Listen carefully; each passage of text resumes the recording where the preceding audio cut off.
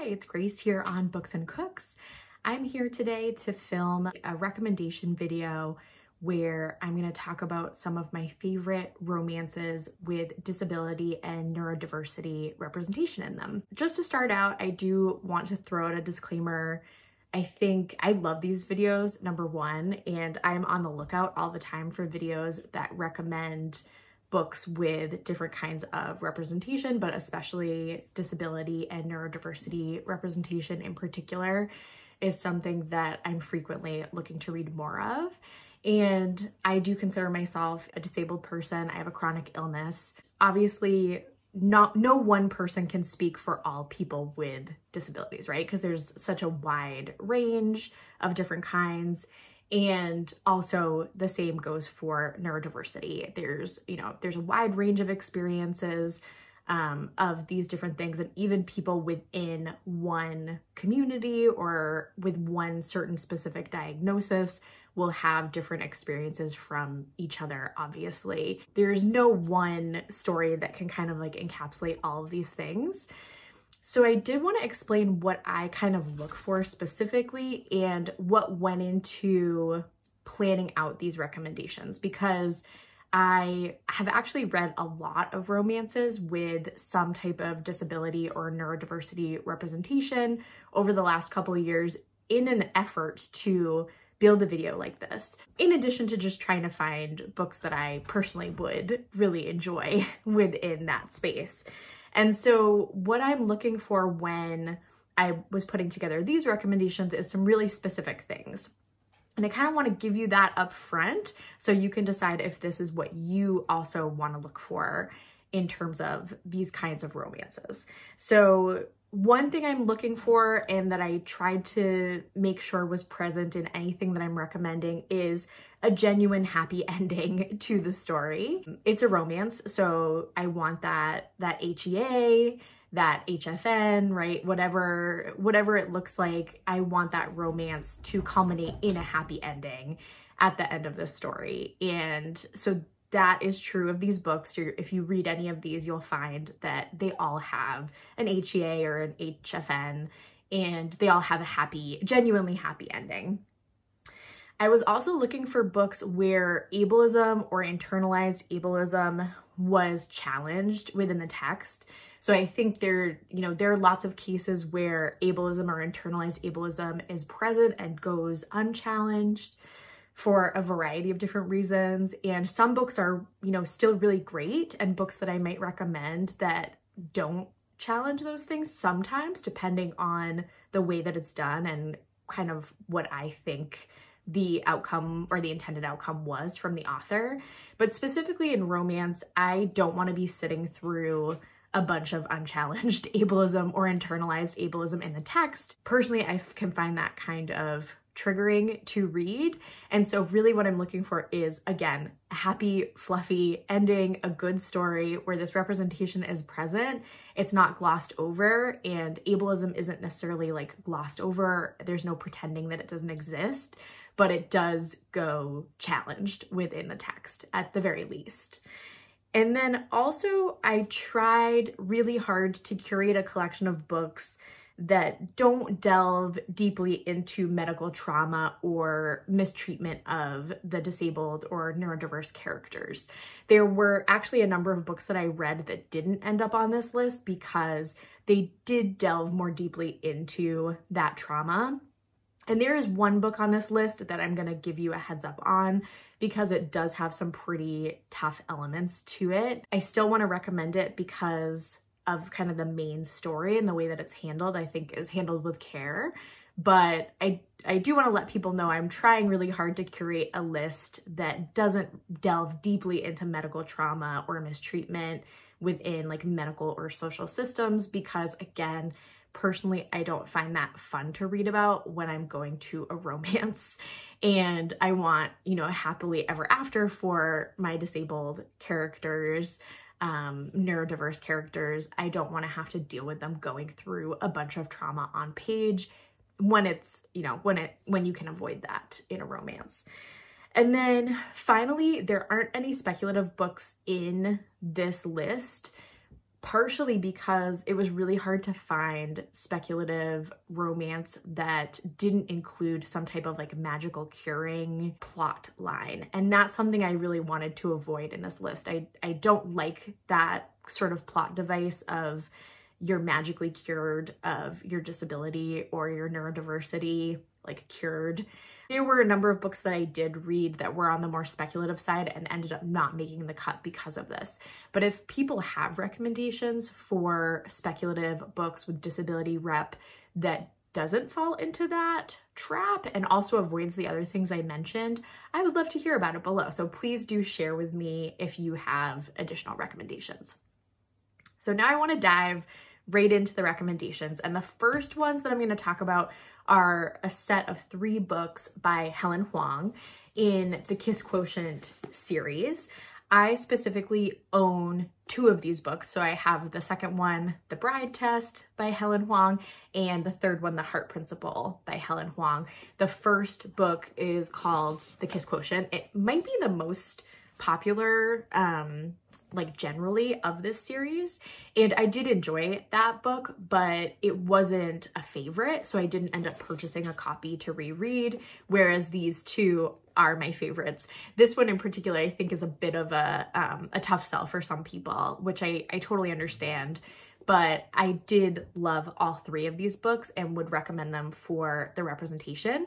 Now Specifically, these books follow characters who are on the autism spectrum. Throughout each of the books, the main character, the protagonist, is on the autism spectrum and has been diagnosed or is diagnosed during the book. We have representation of um, men and women who have autism spectrum disorder within these stories.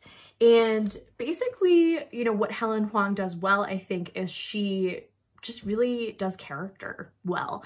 Each of these stories follows very different storylines.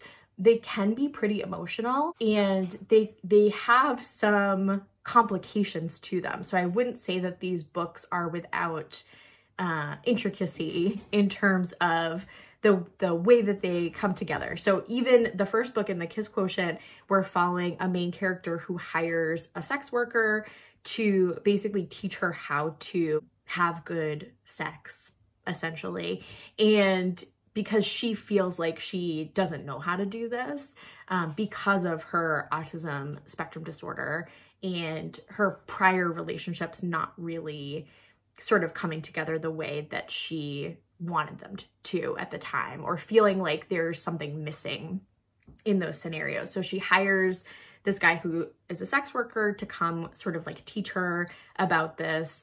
And so there's a bit of like a weird dynamic there. You know, there's a bit of a power dynamic where you're hiring this person, then they're you're falling in love with them they're falling in love with you over the course of the story so it's not an uncomplicated situation but i personally think that it was handled well and that the power dynamic was handled well in the story and the way that it goes with these two characters, the way that these characters kind of come together and learn from each other and support each other, I think is really beautiful. And that's how I felt with all three of these books. This book deals with a basically like potential arranged marriage, kind of a, a woman who is brought to the United States to potentially marry this main character, Khai, who's the son of um, this woman who I think is like a, a restaurant entrepreneur, kind of like a big deal restaurant entrepreneur. She goes to Vietnam, she meets Esme in Vietnam and she likes Esme right away and invites her back to the United States to live with her son basically and like test run being his wife.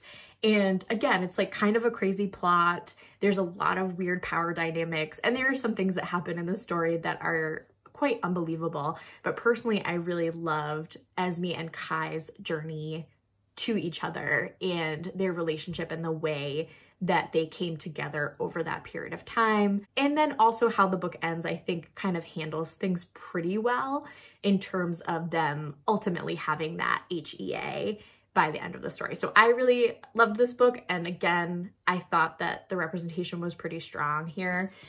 The final book in this series is The Heart Principle, and I do want to mention this is the book that I said at the beginning has some pretty heavy elements to it. So one thing that comes up in here is end of life caregiving for a parent.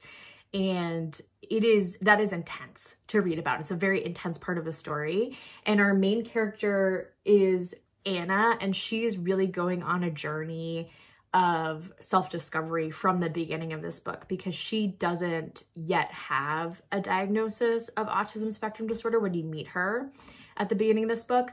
And she also has some additional mental health things going on, just in general related to her life and her profession. And then a very difficult event goes on in her family and her father ends up in essentially like home-based hospice care, kind of long-term caregiving situation for someone who is at the end of their life, essentially.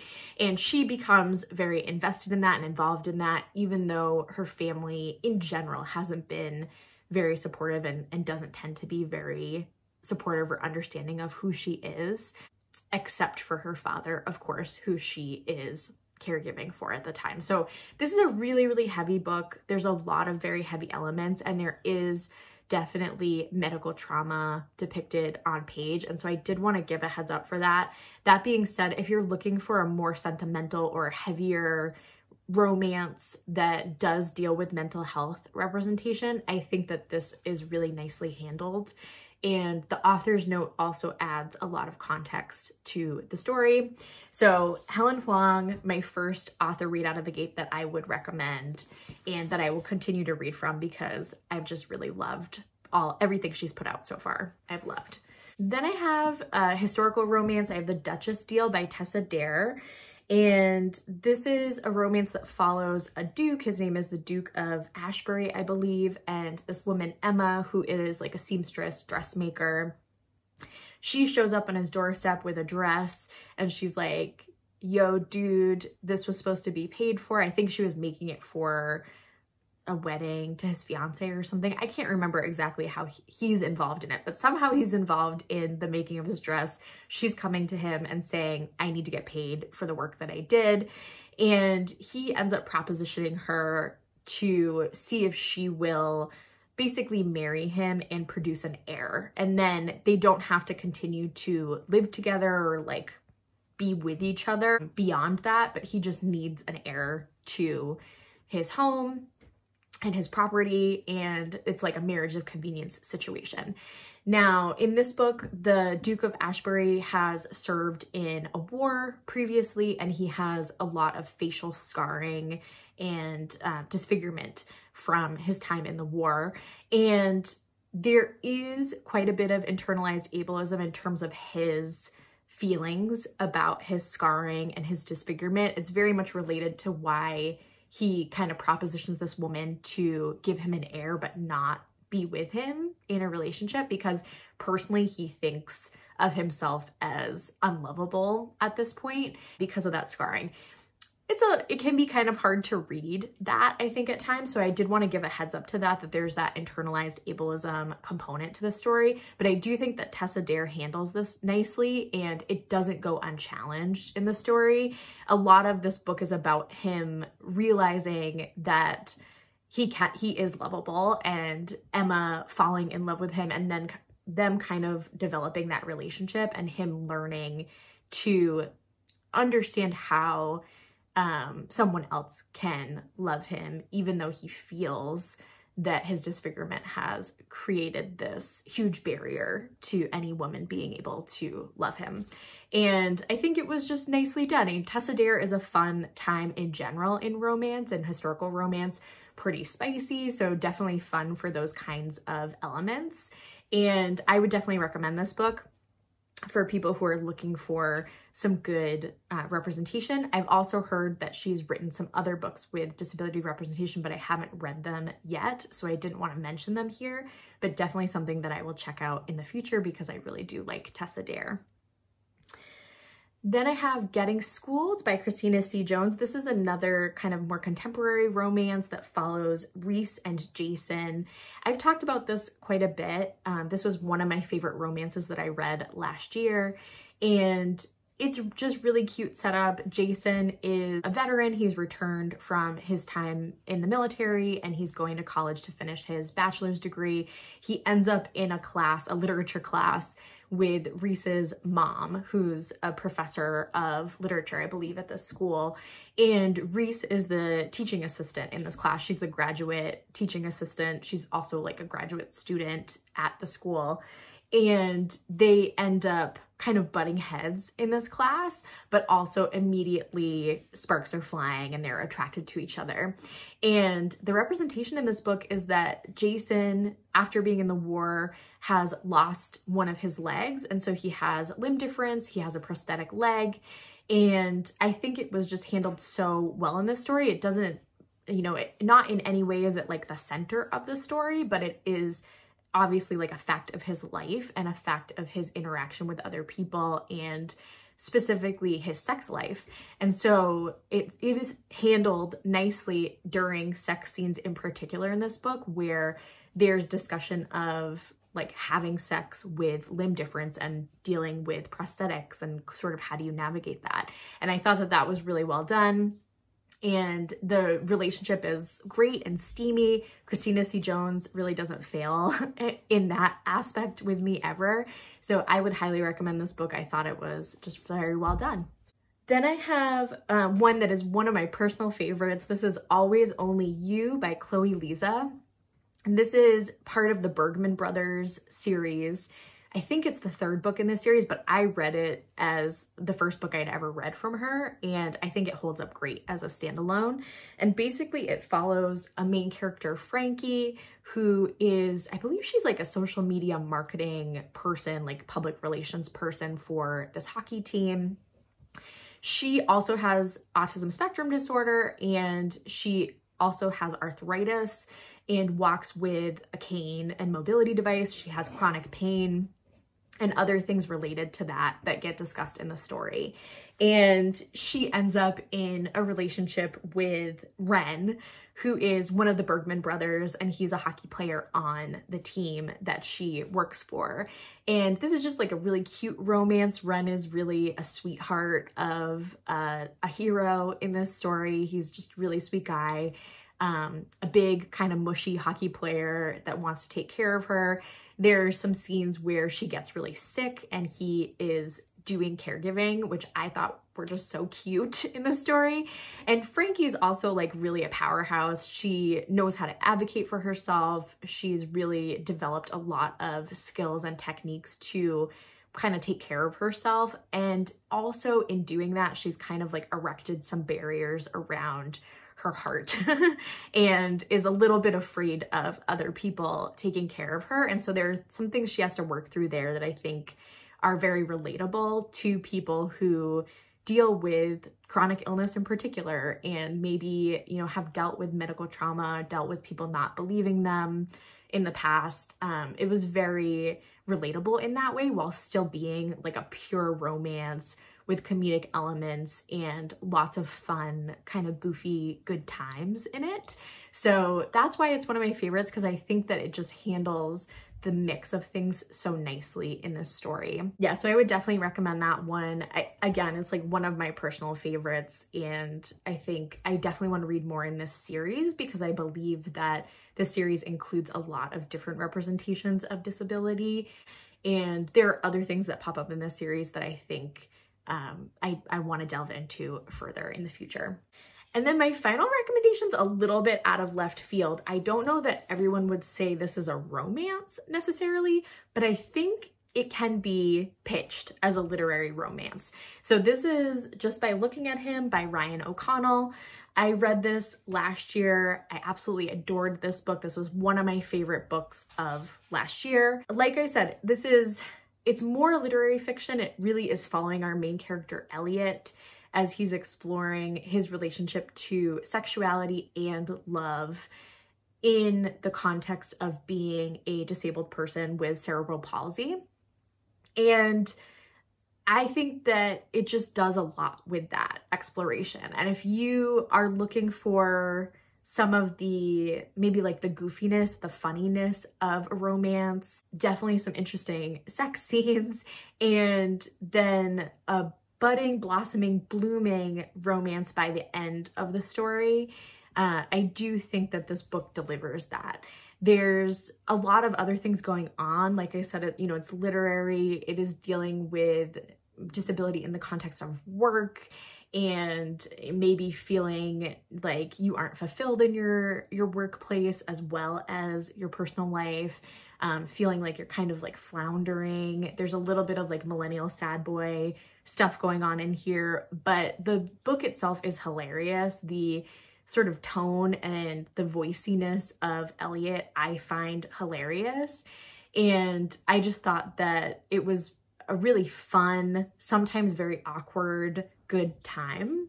And it does also, I would say, have a happy ending. So I, I don't think that's spoiling the book to go into it knowing that this character is going to get a happy ending. But I think the journey of him getting there and the journey he goes on to understand his relationship to his own disability, his internalized ableism that maybe he hasn't dealt with very much previously is just really rich and there's a lot going on. So this is another one that I would very highly recommend. Those are my recommendations for today. Please, please let me know if you have additional recommendations. I'm, again, I'm always on the lookout for these kinds of books. I've read probably like three or four times what I actually recommended today. And unfortunately, there's a lot of not so great rep that I find out there and things where there's just a lot of triggering elements or you're dealing so much with medical related trauma that it becomes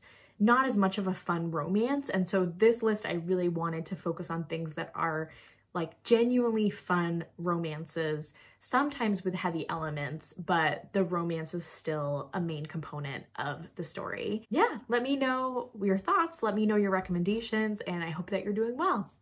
Bye.